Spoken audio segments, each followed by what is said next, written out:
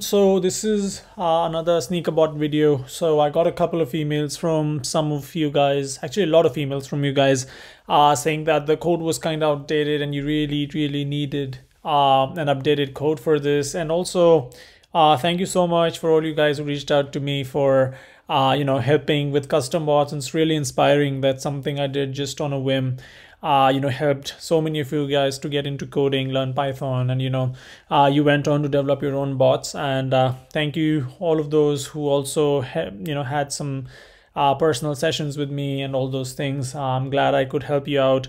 And for those who couldn't reach out to me and I didn't respond via email, you can, I'll link my Instagram. I think it'll be more easier for you guys to reach and uh, yeah so you know i just got some time uh, due to christmas break from my full-time job and also studies. So i started uh, you know full-time uh, at stanford computer science. Uh, so it's really taking up a lot of my time nowadays. But okay uh, that's about me. Let's get into this video. So you know I'm, i tried to update the code and keep it as simple as possible. The it's a very basic code. I, anyone at any level of python can understand this so what we are going to do here is that we will basically go onto a particular products page and try to extract the number of sizes on that page. So this is how the page looks like. So what do we have here in the URL? So we basically have this adidas.com US. Then we have the name of the shoe and then a model number.html. So what do we want to do here? Let's go through these first uh, lines of code. So we're going to use Selenium. So what does Selenium do? Selenium helps us replicate a browser-like functionality from code. So basically it will open up a Chrome browser. How are we going to do that? We do it using this line, browser is equal to webdriver.chrome. Now this Chrome can be Firefox and maybe some other browsers, but I have Chrome installed on my computer, on my Mac. So it's easier for me to just use Chrome. And I'll show you how the Chrome tab will open once I run the code. And then also I am using Beautiful Soup 4, which will help me parse the data I get in a very good fashion. And uh, I'm using Python 3. If you don't know how to install Python 3, I know it can be a little tedious. Uh, I did another video where I, explained you how to do it on Mac. And um, yeah, and then to install these specific packages, you need to run these three, these two commands. Uh, fairly simple. You can read about them uh, on, on the web if you want to. But okay, so we do this. So now our code goes through these three lines. It opens a new Chrome tab. Then it comes here. So it sees that this is a function. So you know a function is basically that gets executed when it is called so this function call means something like this so it comes to line 5 it sees okay this is a function so it skips over it then it comes to line 13 it sees okay we are calling a function. Now, where is this function? Okay, it's on line five. What does it want? It wants a name and a model. What is the name? The name is Samba OG shoes. The model is this. So we go to line 13, we go in here on line five. Then what do we do? We have to, so it opens a tab here, a Chrome tab. On the Chrome tab, we need to go to a specific URL. Now, what is the URL? The URL is adidas.com US, the name of the product, the model number, and .html, which is basically this, and it will open the page like this. Okay. Now I need to get, extract these sizes from here. Where are these sizes? So these sizes are embedded in this code here, right on the page. This is the code on the page. So, so let's say this size here is available. So it's GL label size. So it's inside this button. We have a span over here. This is where the size is. If the size is not available, it is inside this. And we have another class called size selector size unavailable. Okay we basically want these ones where we have the size available. So for that, I need to basically get the page. Then what do I need? So this is an HTML page. So I will store it in a variable called HTML. And then I need Beautiful Soup to parse it. How? So this is an HTML page. So I will use an HTML parser. So I've passed this this basically this page source i stored it in a variable. So variable is like an empty container. I can put whatever value i want in it. So i put in the value of this entire page here and then i tell it to soup. I'm like okay soup is also an empty container. What does soup have? We'll use beautiful soup to parse this html using an html parser. Now let's quickly look at what this looks like.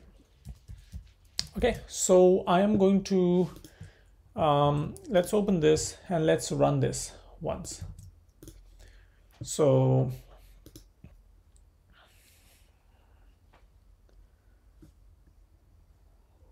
okay so the code ran. This is what the soup got. It is the entire page. What is the entire page? This is the entire page. This entire thing. It's extremely huge. Okay? But out of this page we only need these specific data. Not just this data just like this data. M8.5 9.5 for women so let's so we've got the page where the first step is done getting the data from the page. So we can use requests library on python for this but it so you know it, it just goes and it takes the data from the page but you know it might be possible that the page loading is slow right? So and we don't have the data available to us right now. So in that case we would not be able to fetch the sizes. So that is why we use selenium because what it does is it waits for the entire page to load first. All right so we have this then we we got the entire data we saw it is extremely huge now what do we need to do in that data to filter it out we've already parsed it by beautiful soup i use this find all function and what do i do i tell it okay go and search for a button okay so it will search for all the buttons on the page and then I tell it, go and look for this specific class. Now this class is GL label size underscore whatever. So it comes here, it looks for exactly this class. So it finds all the buttons and then it brings me exactly those classes and it puts it in a list. So let's see what my X is here. Okay, so I'm gonna print X for you guys. And let's quickly run uh, let's comment this out we'll show it to you later and uh, okay wait let me I need this okay let me not comment it and then uh, let me try to run this and see what happens. So this opens see it's loading. As soon as it gets loaded these these take time to load. As soon as it loads it goes there and oh wait so it got an empty list. For some reason soup dot find all what is happening here? Let's see we're printing x. Let me try to sort of run this again and see why that did not work oh maybe I clicked on the page that's why so it's supposed to be automated I should not Okay, yeah, so it worked. I, I'm sorry, I clicked on the page by mistake. That's why it didn't work earlier. So because it is run by automated software, you have to just let it run. Otherwise the page stops. So, okay, so now we have a list and we have all these buttons in it. So this is one button, this is second button, this is third button, and these are all values stored in a list. So this is the first value and you can see it has a comma, then it has the second value, then it has a comma, then it has a third value. So let's see. So we have to take each one of them at one one at a time and we need to extract the size from this so let's say we have this now okay so what do i do i come in here and then i say okay so pick the first value. So let's say this is the first value okay? Then what do i say? I want it as a string. So this is the first value. This is the first value. A's value is this. I want the first one and i want to split it on span. So we split it on span. Now so so basically in counting we do one, two, three, but in code the positions of these are zero, one, two. so let's say i want to access the second position it is uh, like second the number 2 it is on the first position. Number 1 is on the 0th position.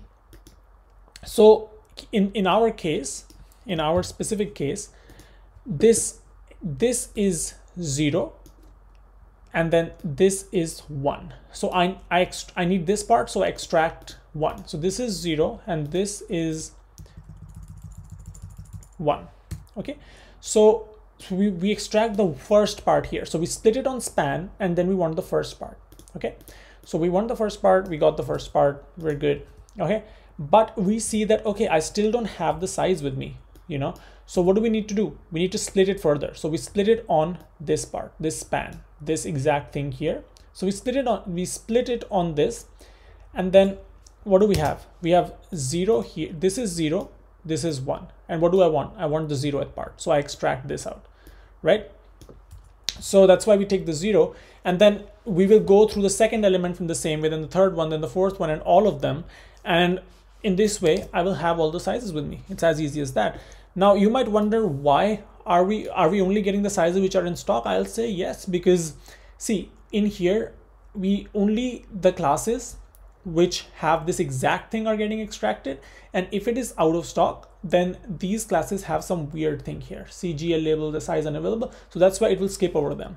Let's see, I ran this code already. Uh, let's run it again. Actually, I ran it already here, but so it already extracted all of the sizes for me which are in stock. So 8.5 to 14, it, all, it, it already did that and uh, yeah so we have 8.5 to 14 and we have all the sizes with me. So well this is the first part. Uh, and yeah we will build upon this. I will probably try to build the entire bot in the next week or so and post all the videos regarding that. And yeah that's about it. So thank you so much. Um, you know I, I'll, I I really love to contribute to open source projects but you know I'm so busy right now that I'm not able to take out the time and uh, you know I, I did create a gofundme page because some of you wanted to like donate some money and like you guys got you know for all the help you got and all those things. I'm really grateful for that. So i i made a, a gofundme page and you can consider donating if i helped you in any way. You know i don't you know it depends on you. Maybe three four five ten fifteen bucks whatever you guys feel appropriate you know and i would really really appreciate it. And i would like to thank you in advance. By receiving that money you know i can take more time out.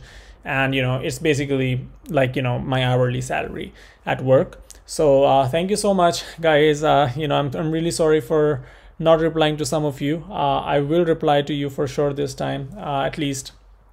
I will try to. And yeah let me know what you guys want to learn what sort of videos you like so that you know I can make more videos of those sorts and help you guys out more. Well, that's it for today. I'll post, I'll come up with part two again. Thank you so much for watching guys. Take care and have a great break, great Christmas and hope you and your families have a lot of fun. Thank you so much. Bye.